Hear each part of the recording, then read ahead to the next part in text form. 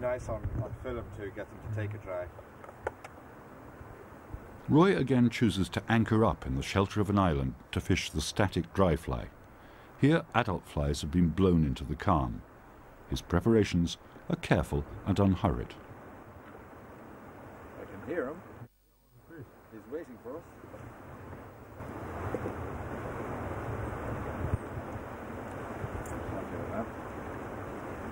When in doubt, cut it out.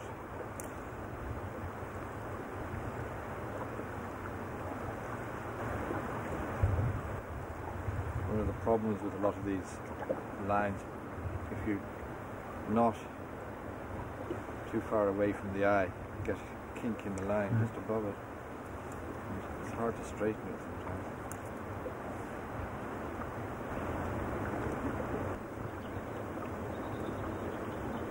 sometimes. You like a fly to sit halfway in the film. Yeah. And what you can do is just rub mucilin onto the top of the fly. And the bottom of the fly then gets saturated eventually and sits in the film. And fish take it much more confidently than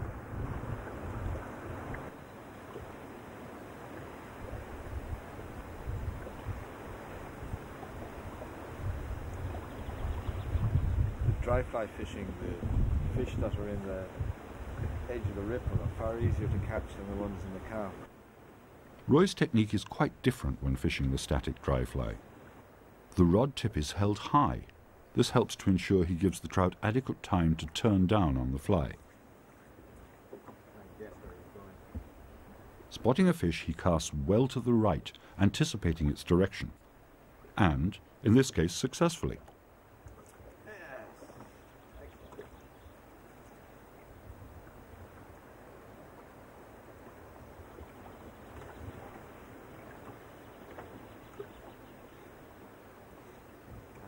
I had to try and guess where he, which direction he was going. Yeah. That was a good guess anyway. Well, no, he wants to rise twice. You, Yeah. you know. It's when they just rise once that you're, you're in trouble. Egg-laying females can appear on the water some considerable time after they've hatched. They wait in the shelter of trees and bushes for the ideal time, generally during a calming of conditions, before they venture out onto the lake to lay their eggs. In certain years they offer a considerable extension to the duckfly season. They provide exceptional sport for the dry fly angler and offer the dapping enthusiasts their first opportunity of the season to catch fish on dapped grey dusters.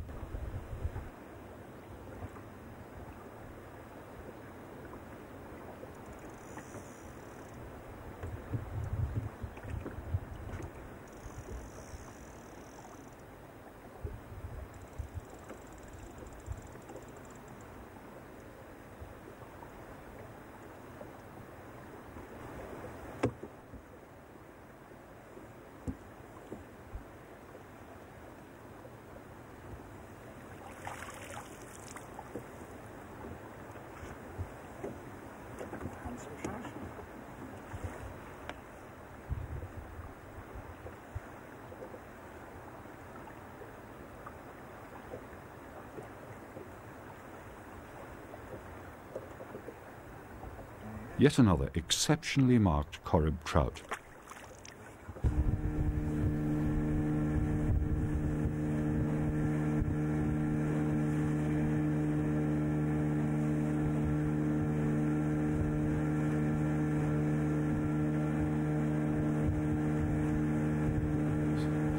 Polar canard buzzer, again, representing an insect caught in the surface film. Um, size 14 or 12, lightweight, wet fly hook or dry fly hook, black tying thread, and we're going to make a body out of black seal fur, but this time not ribbed. The idea is to have a, a very lightweight fly.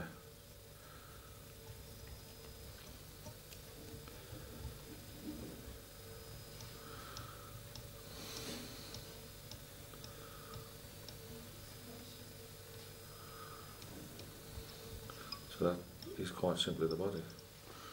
The next thing to go on is some deer hair, just a few fibres. Underneath the cul canard just to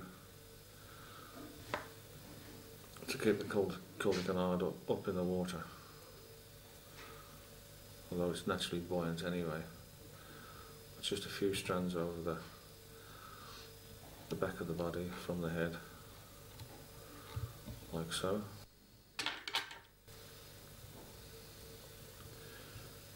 Just trim those off. The last thing to go on are some fibres of cul de canard, just torn from the, the stalk.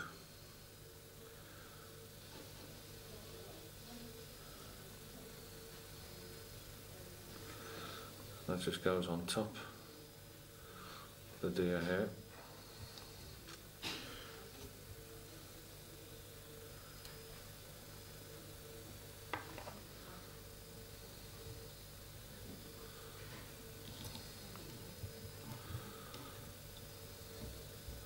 and at this stage just trim the fibres off. As well not to cut this material, just uh, pinch it too. And what you can do as an option is to put a sparse black hackle in front of that if you so wish. It's a very simple, naturally buoyant fly can be very effective. Cast to rising fish.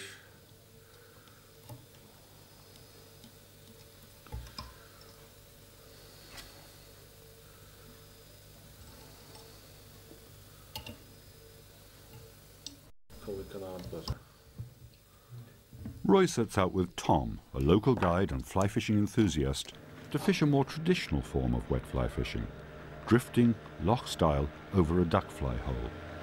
Each has a team of three flies. Tom chooses a Peter Ross on the point, an emerger on the middle dropper, and a Blae and Black on the top dropper. Roy's choice is a duck fly pupa on the point, an emerger on the middle dropper, and his favourite, Cul de Canard Dry, on the top. Their techniques differ considerably because of the differences in the type of fly patterns they're each fishing. Roy is concentrating on fishing his dropper patterns slowly, dibbling them through the surface film. Tom is fishing subsurface, moving his flies slightly quicker to induce a take. They've seen occasional fish rising, and expectation is running high. Probably what those fish. And we're really not geared up just at the moment to fish those dry flies. You need to have something sitting right on top. Um, there we are.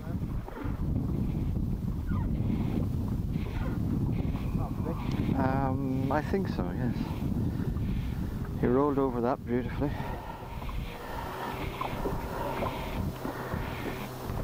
Yes, he's on the top fly, the dry. He seems to be able to run quite adequately anyway. Somewhere? Yes. I'm anxious to get this fish in shortly because we'll be running into a weed bed soon. Um, so I'll put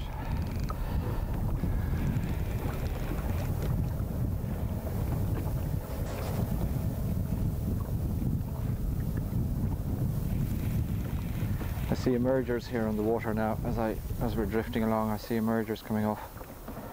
This fish is boring down all the time. He's, he's lovely yellow bellied fish. Again he, he rolled over the fly on the surface so